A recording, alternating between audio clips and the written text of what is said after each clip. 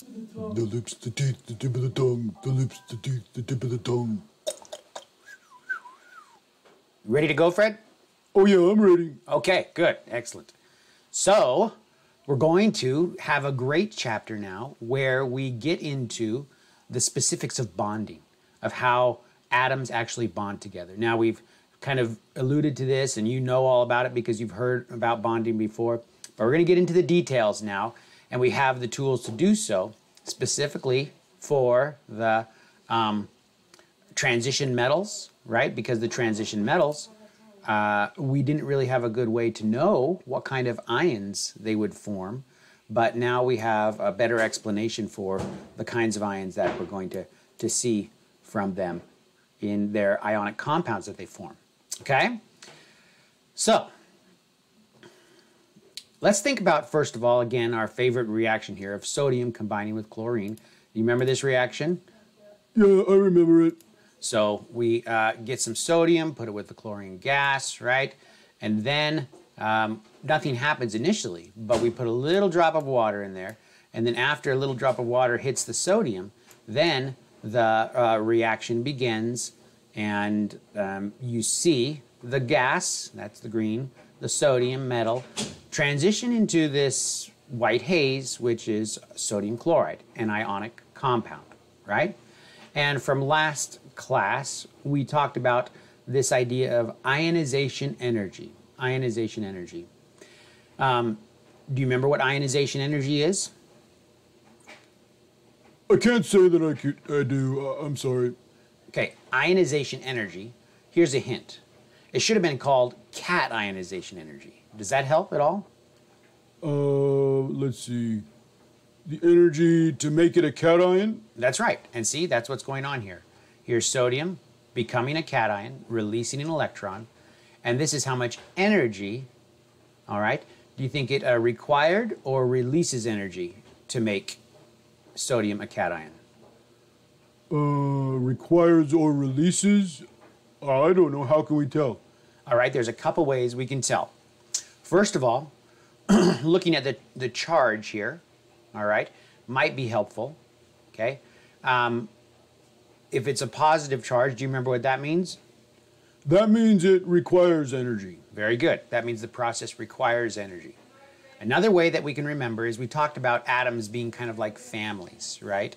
And if you remove an electron or a child from the family, the family is not going to like it. It's going to resist. So it's going to take a lot of energy to do that. Okay? So that's a couple ways to remember that uh, ionization energies are always uh, positive, they always require energy to, to remove an electron. How about this? The opposite of ionization energy is our electron affinity. And what does it look like here? Electron affinities require or release energy? Release energy. That's right. Is that for all atoms or just for chlorine, though? That's a good question. What do you think? Is it for all atoms or is it just for chlorine to uh, take an electron, right? Chlorine is taking an electron. Uh, I think it's just for chlorine. All right. Now, remember, we talked about uh, that kind of as a family model as well. If you have your family, the parents uh, being the, the nucleus, and then the electrons being the kids, and you have lots of kids, right? And you're asked to take one more kid. Do you think the family would take one more kid? Uh, I want to say that the family would take another kid if they're a good family.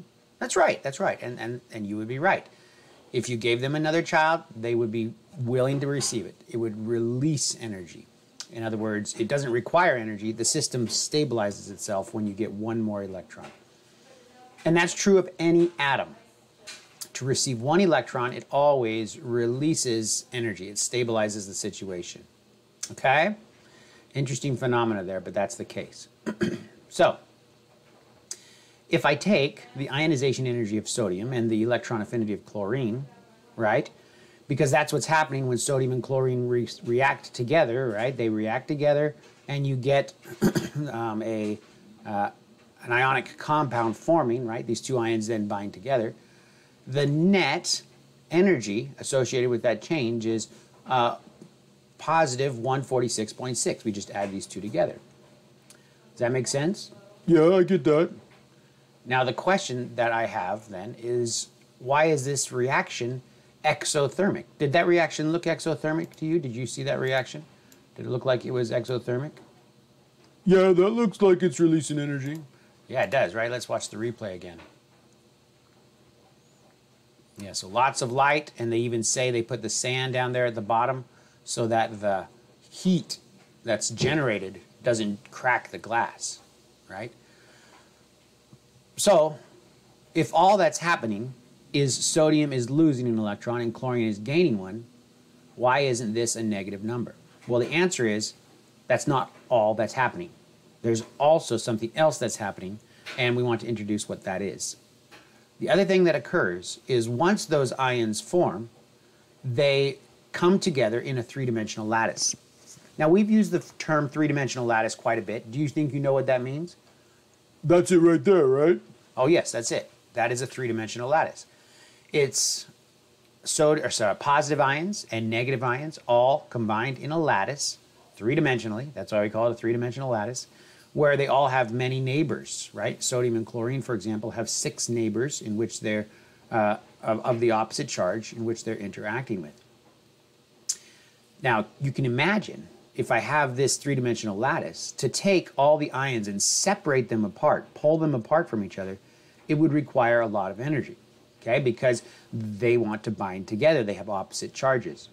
Well, in the same way that it would take a lot of energy to separate all these ions from the three dimensional lattice, if you all of a sudden create ions, as we did in this previous chemical reaction just now, if you all of a sudden create ions and they can collapse into this three dimensional lattice, a lot of energy is released, right?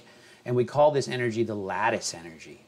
All right, so all ionic compounds have a significant amount of lattice energy.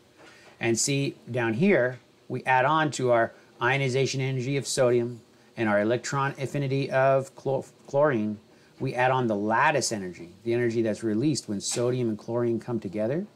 And that ends up being a significant contribution to the whole. And so this is where we get our, our overall exothermic reaction. Does that make sense? Uh, can you explain it one more time? Okay, sure. So when sodium and chlorine react, right, sodium loses an electron. That releases energy. Or sorry, that requires energy. Chlorine gains an electron. That releases energy. But those two steps are not enough to make the reaction happen by itself because the overall reaction just from those two contributions is still positive. Still, what do you call it when it's positive?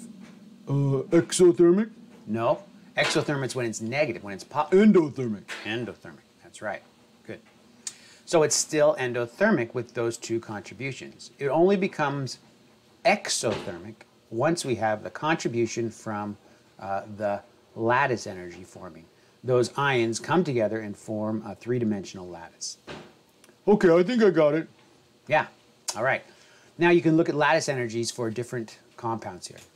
You can see lattice energies from compounds like aluminum oxide, right? It's really, really a lot of energy, okay?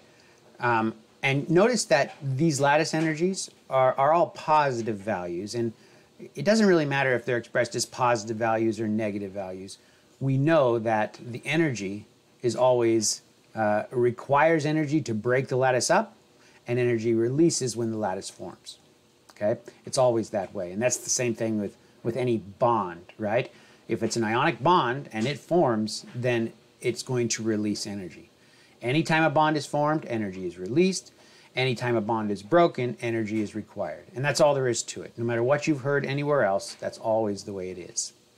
Okay? In other contexts, when they say high energy bonds are broken and energy is released, they're leaving out the part about they need to say instead of high energy bonds are broken and energy is released, they need to say high energy bonds are broken and lower, more stable energy bonds are formed and thus energy is released. Okay?